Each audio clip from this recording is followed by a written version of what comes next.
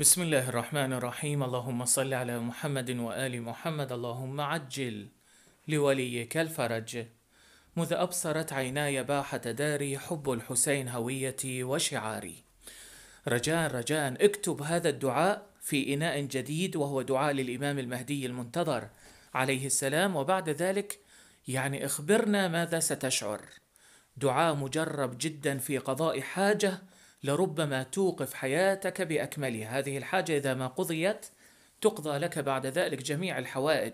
سوف تتحرك وسوف تعيش بسعادة تامة من دون هم وغم وضيق. ورد عن الشيخ إبراهيم الكفعمي في كتابه القيم البلد الأمين عن الإمام المهدي المنتظر عليه السلام قال من كتب هذا الدعاء في إناء جديد بتربة الحسين عليه السلام وغسله وشربه شفي من علته. الضامن من؟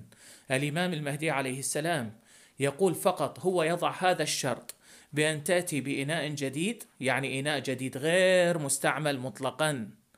بتربة الحسين ولو هذه التربة كما يقول الشيخ بهجت. قدست روحه الزكية يقول ولو هذه التربة التي أنت تسجد عليها حاول أن تأخذ من قلبها.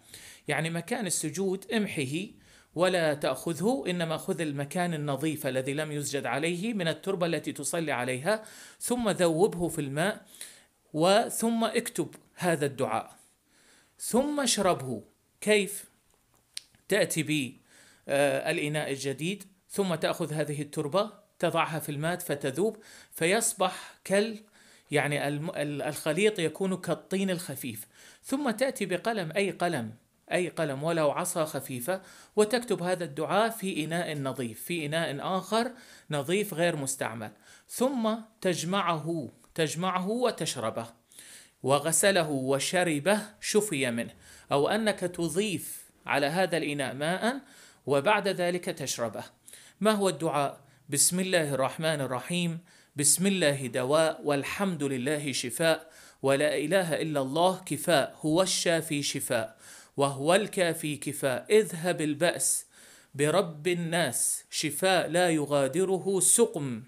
وصلى الله على محمد وآله النجباء. هذا هو الدعاء. اكتبه وثق بالله وتوكل على الله. فمن وثق بالله راه السرور. ومن توكل على الله كفاه الأمور. ما خاب من تمسك بصاحب الزمان أمن من التجأ إليه وتخلص من علتك التي أوقفت ضحكتك والتي أوقفت نشاطك والتي زادت قلبك هما وغما وجعلتك لا ت... يعني آه، لا تمارس الحياة بالشكل الطبيعي. لا يوجد هناك دعاء وليس هناك طريقه أكثر تجربة من هذه الطريقة. برنامج صباحات ولا أيام من محمد خادم في مرقد الحسين بن علي عليهما السلام.